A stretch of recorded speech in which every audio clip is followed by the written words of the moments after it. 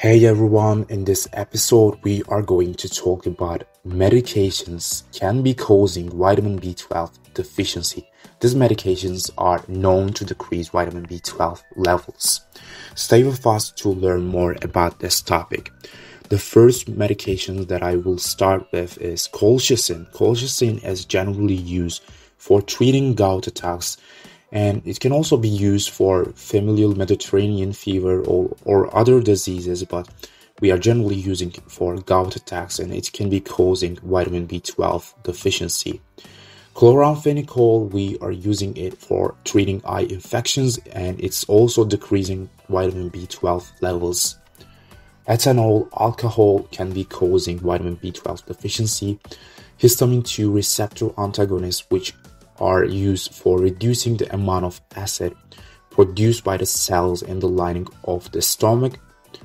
Metformin, which is used for um, lowering blood sugar levels in type 2 diabetes, and proton pump inhibitors, which are used for relieving symptoms of acid reflux, gastroesophageal reflux disease.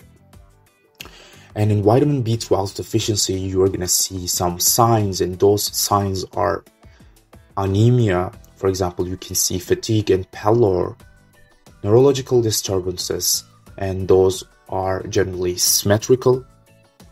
Peripheral neuropathy, you can see tingling, numbness, pins and needles sensation, coldness, and generally these are seen in lower extremities such as legs neuropsychiatric disease, and you can see reversible dementia.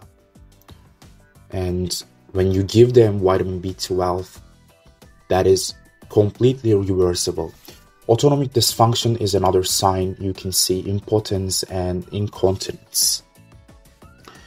And in order to diagnose vitamin B12 deficiency, you can use Schilling tests and in severe deficiency, we are generally using intramuscular supplementation of vitamin B12, for example, cyanocobalamin or hydroxocobalamin.